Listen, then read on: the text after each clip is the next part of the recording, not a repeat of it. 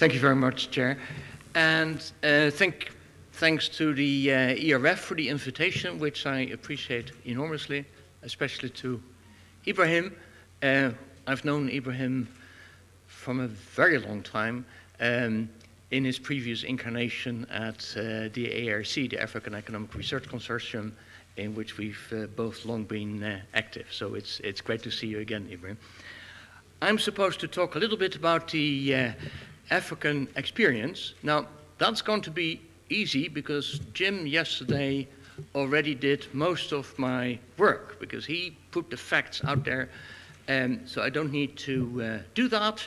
And Andre has just given you a very clear story about um, the European experience. I will refer a few times to that uh, because there's a tendency in the discussions on regional integration to think that the experience from one block are uh, going to be relevant to another block, and I'll, I'll give you a few warning signals from what happened in, in Africa for why that might not be true. Okay, the African experience. It goes back a long way. Uh, Samir, you, you said 1960s. Well, they started talking about it even in the 1950s, when most of the continent still consisted of colonies. So even, even before the process of decolonization, there was this idea that uh, you needed um, uh, a, a process of regional integration. They were not, on Andre's point, they were certainly not very clear on objectives. But there was this vague feeling that if you are a big continent full of countries, which in economic terms very small, you needed to uh, work together. Basically, that was it. And if you'd pushed them, they would have emphasized uh, trade uh, integration as the, uh, as the main point. Okay, uh, it became, region integration quickly became a, an important uh, political point and it became a, enshrined in the Charter of the Organization of African Unity. Um, what happened next was basically the period of import substitution. Africa followed these policies uh, like other developing uh, countries, and it saw uh, trade blocks in that light. If you were going to have a policy, economic policy of um, import substitution, you needed a bigger market than these very small economies. That was the prime reason for uh, regional blocks the um, um, Abuja Agreement then became very ambitious, looking forward to uh, 2025 and saying by then the whole continent should be uh, uh, covered by, by a pan-African um, economic community. Uh, 2025 is of course, of course pretty close and, and we're not nearly uh, there. Um, this is the initiative. This is basically the experience, and Jim has talked about it yesterday. If you look at what happened in Africa, it's just a bewildering number of arrangements, treaties, sometimes very formal, sometimes less formal, um, which I have to be careful, often lacked substance. A very, in, in many cases, was a ceremony, the presidents got together, a treaty was signed, and then nothing very much happened. Um, a big problem was that membership of these arrangements often overlapped. Well, you've just heard from, from Andre, if, if you have a free trade arrangement, you then get a, uh, a problem of rules of origin, and that certainly became a very complicated problem in some of the African blocs. Um, intra-block trade, unlike the numbers you've just seen for Europe, remained and remains very, very low. And there's a big discussion still going on in literature on the reasons for that. So here, here are three possible reasons. One is, is the simple one. If you, if you don't implement the treaty, you shouldn't expect any results, and that's probably the most important answer. The second one is don't expect intra-regional trade when transport costs are very, very high. And this is not relevant for your region, but in Africa that's a fundamental problem. Uh, transport costs within the region are just enormous. Uh, people have often made this point that getting a car from Japan to Africa, um, that costs about uh, $1,500 if you go to East Africa. If you then want to get to the other side of the continent, um, that's about 5,000. So that's uh, just an enormous barrier to, uh, to trade. And the final point is a, is a fundamental one. Is there really a trade potential if we are putting together um, countries with, in many cases, very similar comparative advantage, then don't expect a big change in trade. Okay, so it's not a happy story. Uh, people have started with uh, enthusiasm, and the experience has been disappointing.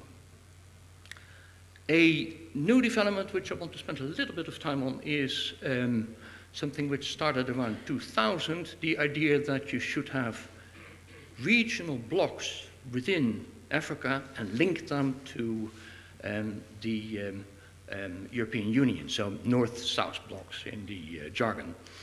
Um, the original idea, many people have forgotten that, was to use that as a lock-in device. So the idea was there's a reforming government, African government, it wants to liberalize its trade and keep it open.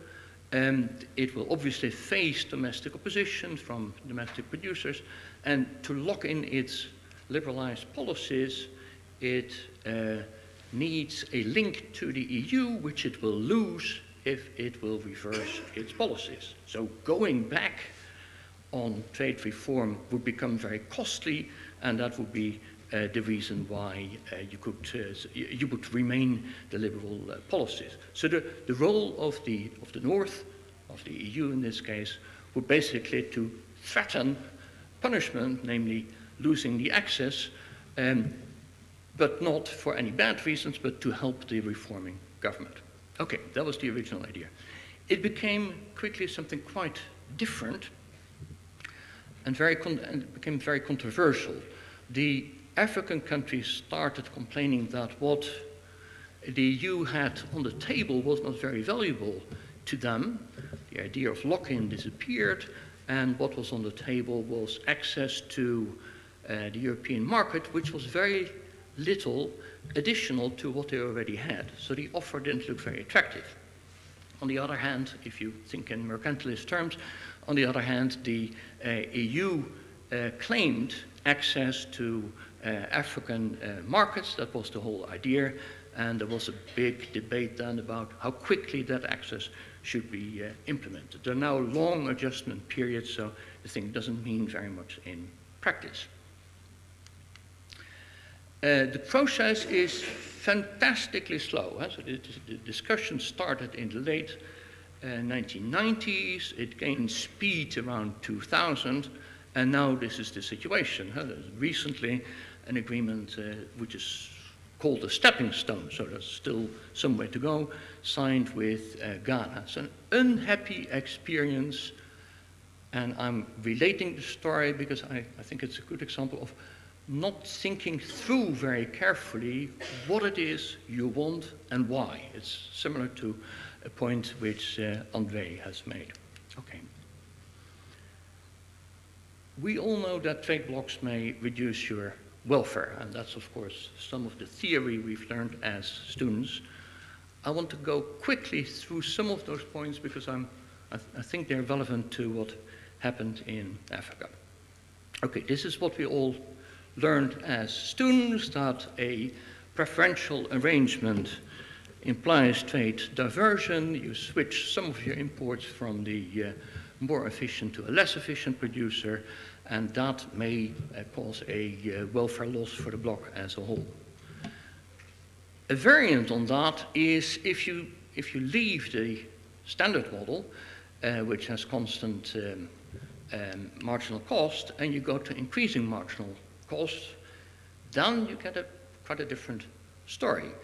Um, I want to stress that because it's a good way of thinking about what happens in small trade blocks. If you uh, put a few small African economies together, and trade diversion means that one is going to expand its, uh, let's say, industrial production, uh, that is unlikely to happen at constant marginal cost. This is not the standard diagram we've all learned where the importer faces horizontal supply curves. It will be an upward sloping supply curve. Why does that matter? Okay, let me just give an example. Uh, so we have a, uh, um, a, bloc, the East African community, that actually consists of three countries, but I'll focus on, on two, um, uh, Tanzania and Kenya. Now, suppose the trade diversion means that Tanzania is what it used to uh, import partly from Europe, is now going to uh, import from Kenya, but not all. So the marginal supplier is still the, the rest of the world, let's say Europe or America. Okay, for Tanzania, they, they, they're going to lose. They're going to lose because the tariff revenue which they uh, initially got from the, uh, the trade with Kenya now disappears in the block. And normally that would be offset by an increase in consumer surplus. Now it isn't. Why is it not offset? Because prices don't change. Why don't prices change? Because the marginal supplier is still the rest of the world. So you don't get an increase in consumer surplus, you do get this loss. Um, Tanzania gets a gain, and it is not very difficult to show that the, uh, in aggregate, the bloc has a loss. So this is something we have to worry about. As soon as we drop the standard assumption, constant marginal cost, we get a striking result. Uh, a welfare loss is not only possible, it is necessary. Okay. Fiscal and distributional problems, the heading of this sheet, is what I am most worried about and, and the lesson which I want you uh, to leave you uh, with. Loss of tariff revenue is something which um, African governments in debates with the World Bank, the IMF, have often stressed as a major problem. They're right. These are simple fiscal structures where tariff revenue is often a very large part of, of government revenue, and therefore, even if you want to liberalize trade, uh, you must think very carefully about the fiscal implications of that. What is going to replace this sort of government revenue? I think donors missed a great opportunity there. They basically dismissed this argument, which they shouldn't have. They could have used aid, this would have been a very good use of aid, by uh, temporary offsetting um, this loss of revenue as um, uh, African governments build up fiscal systems just denying the problem is not very helpful. And um, a possible lesson for this region is think very carefully about what integration implies for your fiscal structures. Then, unequal division of the spoils. This happens in every block. In every block you form, people will start talking about who gains most. And what matters here is not so much reality, but the perception. There may be perception that uh, my country is not necessarily losing, but not gaining as much as another country. That creates a political problem which may undermine the integration effort. Here's an example, the um, collapse of the, I should say, the first East African community in 1977. Uh, uh, that was uh, Kenya, Tanzania, Uganda.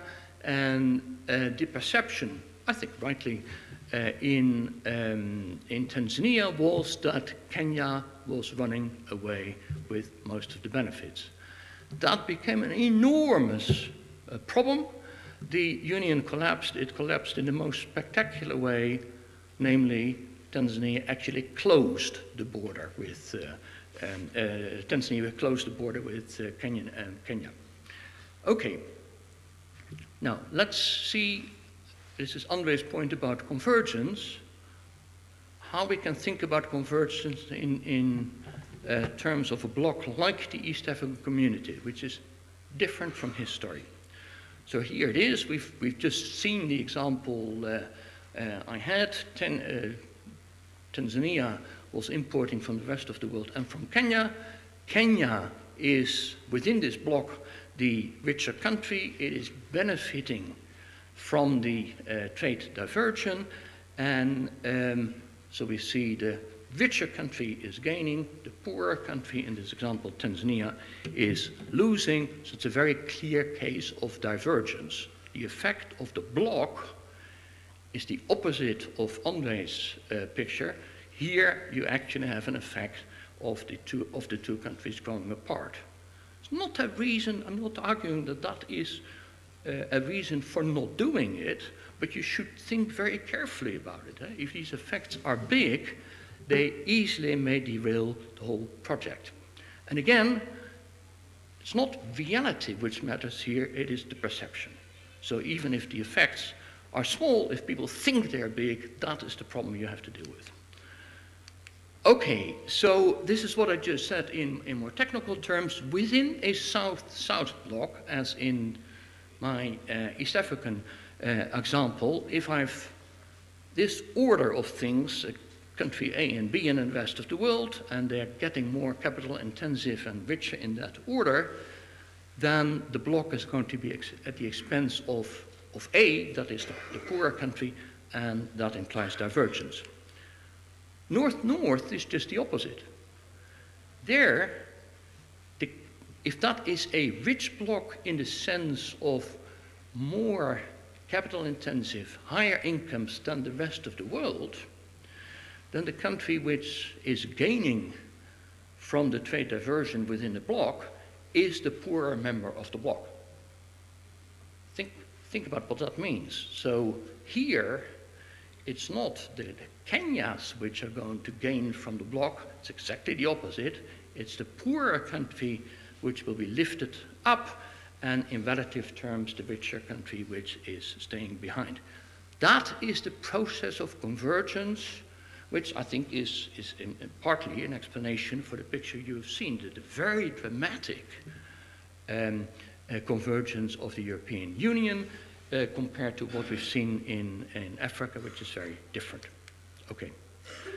Um, I stress that because this has been known in literature for, for, quite some time and it's sort of faded away again. People are not uh, worried anymore about these distributional effects, but I think they are important.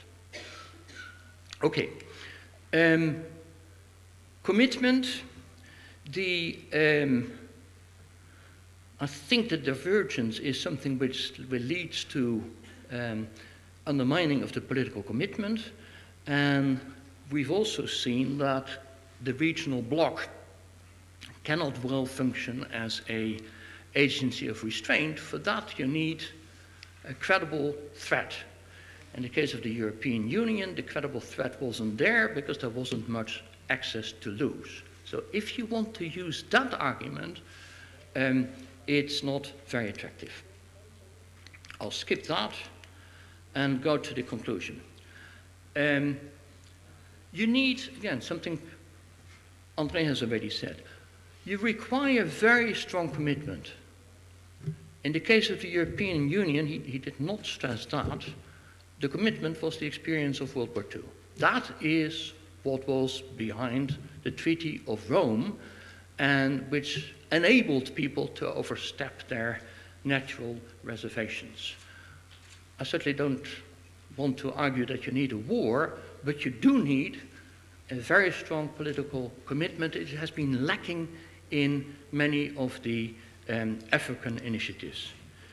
And secondly, and my last point, you really need strong states, strong in the sense, not, not in the military sense, but in the sense of a well organized, informed bureaucracy and that is because you have to deal with these very complicated fiscal and distributional effects. If you're not able to do that, it's going to be a mess. So my message is don't get started unless you have a well-organized state. Thank you very much.